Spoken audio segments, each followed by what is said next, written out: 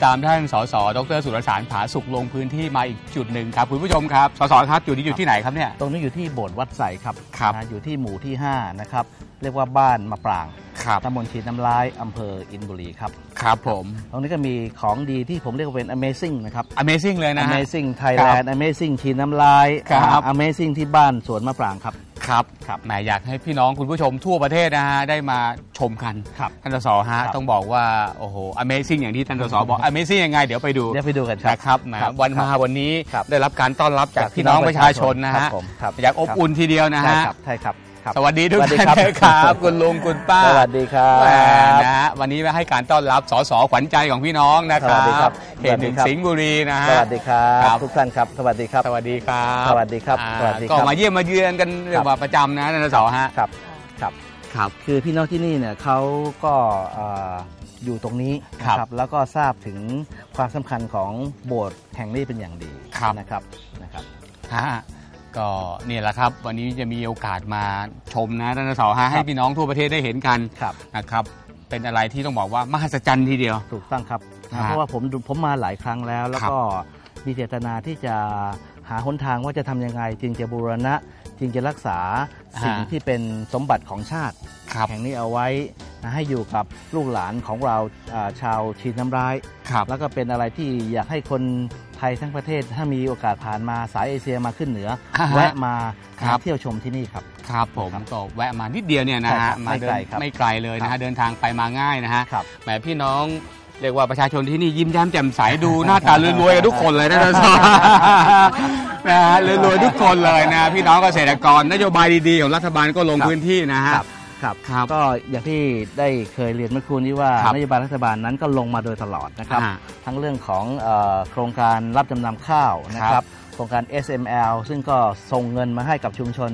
ได้นำไปใช้ตามวัตถุประสงค์ของเขา ครับซึ่งเราเคยคุยกันมาแล้วใช่ไหมใช่ครับเพราะฉะนั้นฮะชุมชนอยากทำอะไรครับก็ประมาณ 3 0 0 0 0 0 4 0 0 0 0 5 0 0 0 500,000 0 ก็นำมาสู่การพิจารณาร่วมกันของชุมชน ครับ ก็เป็นการใช้เงินที่ตรงตามที่เขาต้องการอย่างแท้จริง ใช่ครับครับ ก็พูดคุยประชาคมกันครับครับดูความใช่ครับต้องการของพื้นที่ครับท่านสสครับงบครับของพี่น้องประชาชนเพื่อประชาชนนะครับครับนายกยิ่งรักษณ์เราจัดให้นะครับครับ พี่น้องครับขออนุญาตเข้าไปชมข้างในนะฮะเชิญเชิญไปดูด้วยกันนะครับ พี่น้องครับมาเรามาดูด้วยกันครับผู้ชมครับ เดี๋ยวตามมาครับเชิญเดี๋ยวไปชมเชิญมาฮะโบสถ์วัดไซนะครับตามเข้ามาชมครับผู้ชมครับ ก็โบสถ์วัดไซครับนะครับใช่ครับเรามีวิทยากรกิติมศักดิ์ของเรานะใช่ฮะครับใช่ครับคุณลุงบุญสมนะฮะท่านสสฮะครับถูกต้องครับครับผมครับคุณลุงเป็นมายังไงเนี่ยเอ่อ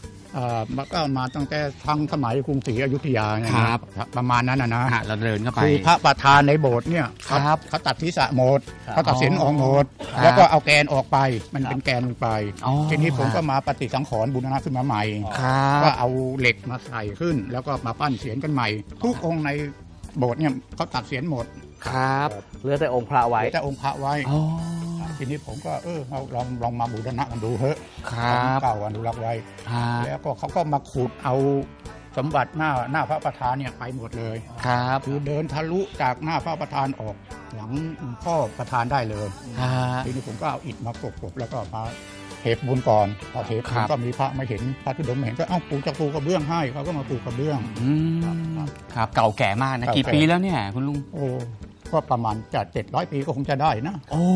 ครับเก่าแก่มากท่านสสฮะก็ดูความมหัศจรรย์ครับเนี่ยครับอย่างก็ตัวคือโบสถ์เนี่ยดูฮะที่รากโพเนี่ยเล่นยืดหมดทุกครับแหล่งครับอืมคุณดูเถอะครับฮะนี่แม้แต่เนี่ยนะเข้าเนี่ยว่ายืดไว้แล้วเนี่ยนะครับเนี่ยใช่เนี่ยฮะเนี่ยคุณลุงเนี่ยมหัศจรรย์มากครับเนี่ยครับเนี่ย ยืดไว้หมดเลยเนี่ยฮะ ดูดูแล้วเป็นเป็นที่มหัศจรรย์คือรากของต้นครัโพบต้นโพนะครับรักต้นโพนะท่านสสฮะน่าวิ่งยืดหมดเลยเนี่ยเห็นไหมครับยึดโยงไว้หมดเลยอืม ด้านกลางก็ยึดแล้วเนี่ยเนี่ยทุกคืนคก็รับ ยึดแล้วจะเห็นว่าไม่มีหลังคานะคุณลุงไม่มีหนะลังขาสร้างไม่ได้ เลยฮะครับ ทำไมครับเมื่อก่อนนี้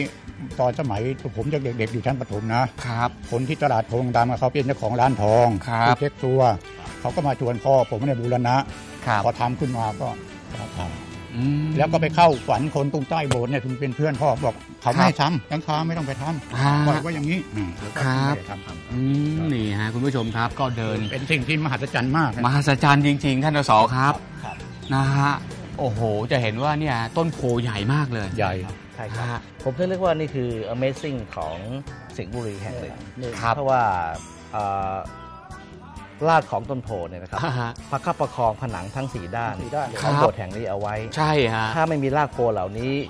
ก็ไม่คงจะมีไม่มีถ้าเป็นผนังอีกต่อไปใช่ไหมครับใช่ให้เขาฮะประคองไว้แล้วก็ยึดโยงอย่างดีเห็นไหมครับครับล่างของต้นโพนั้นจะวิ่งจากผนังด้านหนึ่งไปอีกด้านหนึ่งเลยครับใช่ครับมือคำยันไว้เลย อืมคือวิ่งรอบหมดทั้งสี่ด้านก็ได้ทั้งสี่ด้านนะคุณลุงนะ ครับอ่า ครับผมวิ่งรอบหมดเลยครับรากโพมันมหัศจรรย์มาก มหัศจรรย์นะครัฮะบเป็นสถานที่ศักดิ์สิทธิ์ที่ครับคือสถานศักดิ์สิทธิ์พี่น้องในพื้นที่ก็เคารพบูชา ครับเคารพบูชาให้ความเคารพบูชา แล้วก็ทุกเอ่อ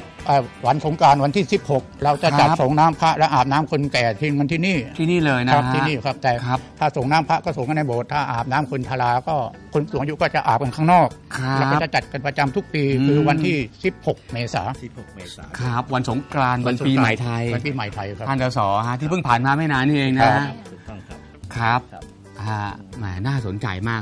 ท่านดสฮะอยากจะให้พี่น้องได้มีโอกาสได้มา ชมความมหัศจรรย์ ของที่นี่นะฮะพี่น้องประชาชนที่เอ่อแวะเวียนงานเดินทางจากกรุงเทพก็ดีที่จะขึ้นไปทางครับด้านเหนือของประเทศไทยอ่าไปชัยนาทไปนครสวรรค์ไป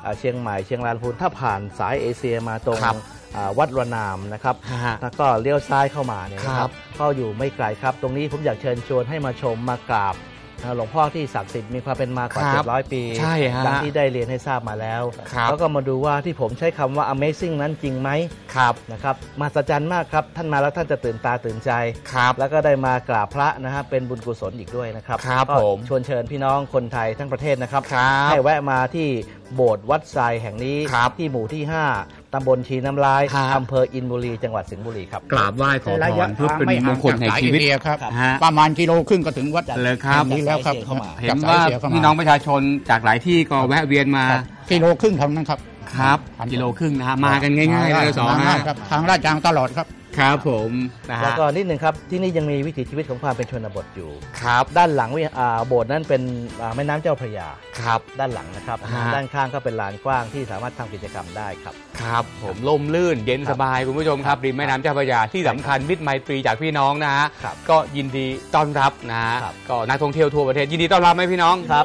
ยินดีนะครับ ดังๆครับ พวกเรายินดีต้อนรับไหม ยินดีไหมครับอ่ายินดีต้อนรับพี่น้องทั่วประเทศนะครับ ใช่ครับมากันได้นะครับ ใช่ครับที่โบสถ์วัดไซคุณผู้ชมครับ เป็นอีกแห่งหนึ่งที่ต้องบอกว่า Amazing จริงๆนะของสิงห์บุรีครับ ขอบคุณพี่น้องที่ร่วมรายการนะครับ ขอบคุณครับ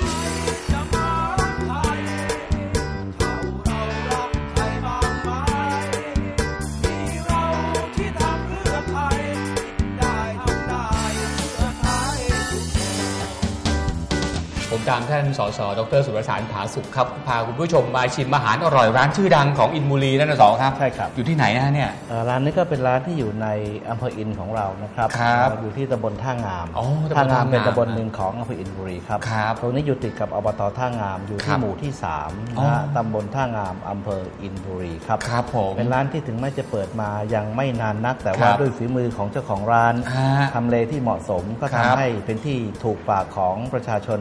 ทั้งชาวท่างามเอง ครับชาวอินบุรีชาวอำเภอข้างเคียงหรือแม้ฮะ แต่ผู้คนที่ผ่านไปมานะคครัรับบผ่านสิงห์บุรีถ้าทราบก็จะแวะเข้ามา แหมดังไกลมากคุณผู้ชมร้านนี้ไม่ธรรมดานะครับ เมนูน่าทานหลายอย่าง ครับอยู่กับเจ้าของร้านใช่ไหมฮะใช่ครับครูตุ๊สวัสดีครับสวัสดีนี่ครับนะครูตุ๊แหมเจ้าของสูตรอร่อยเคล็ดลับเนี่ยนะฮะครับ ร้านอาหารของเราเนี่ยนะร้าน อาหารริมชนใช่ครับแหมเห็นบอกว่าริมชนครับ ท่านสสก็เป็นลูกค้าประจำที่นี่อยู่เหมือนกันแวะเวียนมาอุดหนุนครูตุ๊เป็นประจำ วันนี้สอสอพาชิมคุณผู้ชมครับนะคุณผู้ชมผ่านมาที่อินบุรีมาสิงห์บุรีครับอย่าลืมแวะร้านนี้ครับครับแหมร้านอาหารริมชนครับน่าสนใจคุณตู้ครับ เห็นบอกว่าเมนูเด็ดๆหลายอย่างเลยใช่ไหมฮะมีอะไรอยากแนะนำคุณผู้ชมบ้างครับก็มี ปลาเผาครับสะเดาฟาดไฟ ปลาเผาสะเดาฟาดไฟท่านสอชื่อก็น่ากินแล้ว ก็ใช้ปลาช่อนนาครับปลาช่อนนานะครัฮะบเนื้อแน่นๆแบบนี้นะฮะจะจะเนื้ครัอบเหนียวนุ่มแบบกินฮะอร่อยกว่าปลาเลี้ยงเป็นปลาครับนาอืมแล้วตัวใหญ่มากท่านสอฮะจ้ะครับก็ทานกับสะเดาฟาดไฟฟาดไฟครับนี่คือยังไงครับฟาดไฟคือเอาเอาก็ไป ติ้งกระถานอ๋อแล้วฮะปิ้งกระถางทำใช่ไหมให้ฮะแบบปกติเขาลวก แต่ที่ไม่ต้องลวกครับไปปิ้งมันก็ทำให้มันจะมีกลิ่นหอมหอสะเดามหอมสะเดาใช่จะฮะหอคุณผู้ชมครับ มีประโยชน์หอมอืมหอมนะแล้วเป็นสมุนไพรด้วยนะได้ครับสะเดาครับโอ้โหแน่นๆเลยครับจ้ะคุณตูครับเห็นบอกลูกค้ามาที่ร้านเนี่ยนะฮะเยอะมากเยอะมากแล้วก็ทุกโต๊ะก็ต้องสั่งนี่เลยต้องสั่งทุกโต๊ะใช่ไหมครับครับ น้ำจิ้มเป็นแบบไหนบ้างคะนี่เนี่ยจ้ะ อันนี้หวานขมต้องคู่กับหวาน เรียกว่าเลยครับน้ำปลาหวานสะเดาสะเดาฮะคู่กันจ้ะ ต้องคู่กับนี่เลยน้ำจิ้มจ้าออกอ่าหวานนะฮะน้ำปลาหวานใช่ไหมครับน้ำปลาหวานจ้ะอืมครับเป็นไงบ้างครับเป็นไงอร่อยมากอร่อยท่านเราถอคุณผู้ชมครับ อืมเชิญเลยครับอืมต้องมาชิมไม่ได้เลยฮะเด็ดจริง ๆ นี่ฮะ ลูกค้าก็ชอบทั้งรสชาติความอร่อยท่านเราสอราคาก็ไม่แพงด้ถูวยกเนี่ยต้องครับ แล้วก็ปลาสดปลาสดสำคัญเยี่ยมเลครับย ปลาช่อนนาอะนอกจากครับ เมนูนี้นะฮะมีเมนูไหนอยากแนะนำอีกครับ มีอันนี้ก็คือปลาลาครับบปลาช่อนเอาปลาช่อนไปทอด อ๋อเหรอฮะ ทอดแล้วก็ใช้น้ำลาบครับ ลาบลงไปจ้ะครับ นี่ก็อร่อยเมนูนี้ก็เรียกว่าลาบปลาช่อนใช่ลาบปฮะลาช่อน ก็จะเห็นว่าปลาช่อนล้วนๆนะฮะท่านสอฮะ เน้นปลาครับเน้นปลาใช่ไหมครับ เน้นปลาครับปลาเนี่ยเป็นอาหารเพื่อสุขภาพอยู่แล้วถูนะกคต้องรับครับ แล้วสิงห์บุรีเนี่ยเรียกว่าเป็นจังหวัดอู่ข้าวอู่น้ำครับ ในน้ำก็มีปลา ฮะ ในนาก็มีข้าวครับ โดยเฉพาะมีปลาช่อนนี้ใช่ไหมถูกต้องฮะครับปลาช่อนมีปลาช่อนนานะครับฮะเอ่ออย่างที่คุณทุว่ามานะครับ ถ้าปลาครับ ปลาปลาช่อนเลี้ยงเนื้อจะอีกอย่างหนึ่งฮะ ไม่อร่อยอืมนะฮะถ้าเป็นปลาช่อนนาว่ายอยู่ในนานะครับครับไม่อยู่นิ่งอยู่กับที่นะครับฮะ นะฮะแล้วก็จะรสชาติเนื้อแน่นหวานเนื้อแน่นฮะ ครับแล้วก็หวานด้วยนะครับ หวานสุดยอด ทำเมนูอะไรก็อร่อยปลาช่อนเนี่ยคุณตุ๊กใช่ครับใช่ครับใช่ไหมฮะทำได้หลายอย่างใช่ไหมครับทำต้มยำก็ได้ใช่นะฮะปลาช่อนแดดเดียวนั่น ปลาช่อนแดดเดียวท่านตสใช่ไฮครับไลท์อาหารอร่อยทุกอย่างเลยนะครับ นอกจากเมนูปลาช่อนมีเมนูไหนอยากแนะนำก็ดีมี ฮะคุณตุ๊ก ต้มยำปลาม้า ปลาม้าเหรอฮะปลาม้าปลาม้านี่ฮะเนื้อปลาม้านี่หายากนะท่านตสจ้าครับนี่หายากมากครับปลาม้าบ้านเราแบบแม่น้ำเจ้าพระยาเลยครับโอ้ปลาแม่น้ำเลยนะกับฮะในเจ้าพระยาที่เป็นปลาน้ำลึกนะครับครับนะราคาแพงครับฮะก็หาค่อนหาทานได้ยากหาทานยากมากท่านตสอ่าครับ ก็รสชาติ อร่อยครับครับแล้วก็ทำต้มยอืมมาทานได้ที่นี่แหละครับำที่ก้างร้านก็อาหารริมก้างชมไม่ค่อยมีก้างไม่ค่อยมีด้วย ใช่ครับนี่ฮะอื้อหือเนื้อแน่นจริงๆนะชิ้นใหญ่ ๆ เลยท่านตสลอฮะงลองถ้าเชิญเลยครับลองเชิญนะท่านสฮะก็ขอบพระคุณมากครับขอบพระคุณนี่รับ เลยคุณผู้ชมครับแหมมาสิงห์บุรีมาอินบุรีพลาดไม่ได้เลยนะฮะต้องโดยเฉพาะคนที่ชอบทานปลาคุณผู้ชมครับถูกนะต้อฮะงครับต้องมาเลยฮะถ้าไม่มาทานที่นี่ถือว่ามาไม่ถึงอินบุรีนะฮะตสใช่ครับ นะฮะอืม นะครับ ตามมานะฮะ ถูกต้องครับปลาหมาครับ อร่อยมันแล้วก็ถ้าทานไปแล้วไม่มีกลิ่นคาวแสดงว่านี่คือฝีมือในการทำ ครับต้มยำนี่คือปลาหมาฝีมือของแม่ครัวนะฮะ จ้ะ ครับ ครับ อื้อหืออร่อยมาก ราคายังไงเนี่ยคุณตู้ฮะ เมนูถ้วยนี้ถ้วยร้อยห้าสิบบาทร้อยห้าสิบบาทเท่านั้นเองจ้ะอืมไม่แพงนะ ในกรุงเทพเขาขายกันสองสามร้อย จ้ะที่นี่ร้อยห้าสิบบาทอืมอ่าครับ เมนูอื่นๆ ที่อยากแนะนำครับ อันนี้ก็ปลาแดงราดพริก ปลาแดงเหรอฮะ อันนี้ปลาเนื้อเนื้ออ่อนหายากปลาโอ้แดงใช่ใช่ใช่เป็นปลาเนื้ออ่อนนะฮะลงอืมนำมาราดพริกนะฮะจ้ะจริง ๆ ไม่ได้มีเมนูเท่านี้นะครับคุณผู้ชมเยอะ